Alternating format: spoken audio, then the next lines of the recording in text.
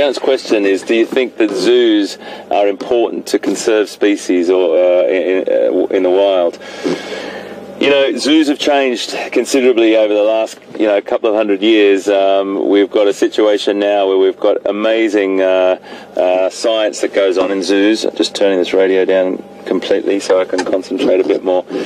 Um, the science that goes on behind the scenes is some of the things that you don't really see. Good zoos around the world uh, contribute hugely to the conservation of species in the wild.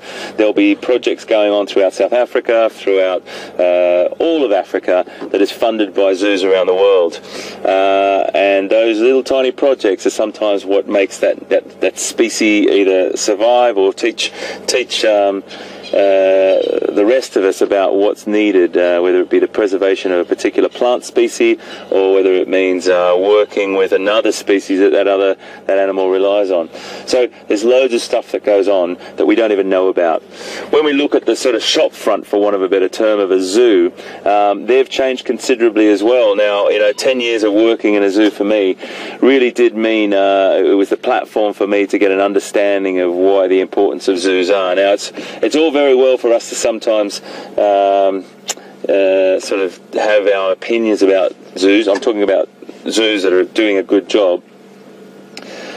One has to think that there's a lot of people that will never ever get a chance to come to Africa. There's a lot of people that never get a chance to go to Asia or whatever, and sometimes to see those animals in a in a well managed uh, captive situation that have been bred in captivity as well, not caught from the wild, um, and they're behaviourally enriched uh, on, a, on a very, very high level, you will find that um, those can be uh, educational facilities that actually pave the way for conservation for generations to come to understand the importance, the absolute imperative note of why we need to conserve things on the planet. Now, if we sow that seed in a zoo and that child or that adult gets that message from a zoo, job done. That's what it's about.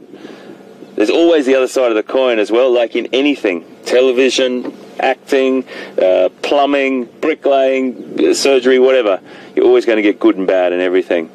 So when I say zoos, I talk about good zoos around the world that are doing fantastic things, working really, really hard to conserve species uh, on a global level and on a local level in their country. So I do think that they're really important, but I totally understand that people sometimes find it difficult to see uh, animals in captivity.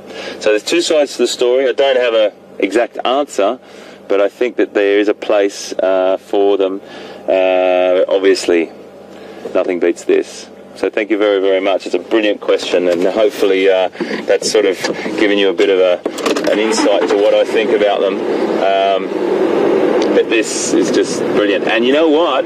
Wild Safari Live is the conduit or is the is the connection for us to now be able to deliver this to you and get that same message across. So this is like virtual virtual tourism, virtual. You're getting out and seeing exactly what we're seeing, and we deliver those messages. And I hope that uh, what I used to do back in a zoo uh, is coming through exactly the same here.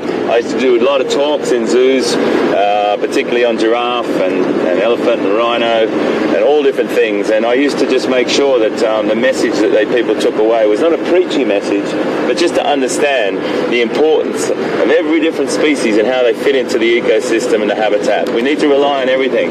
One thing I have to say, folks, that we need to never forget is all this green stuff around us. All this green stuff around us is probably more important or as important as everything else. And then go deeper than that. What's under our feet? My goodness. That's where it all starts. That soil type. That soil that is generating all this beautiful vegetation that everything else is fitting into is. Uh, is nearly more important than everything. So erosion and all those certain controls and the management uh, is very, very important stuff. We're just going across the dam wall again.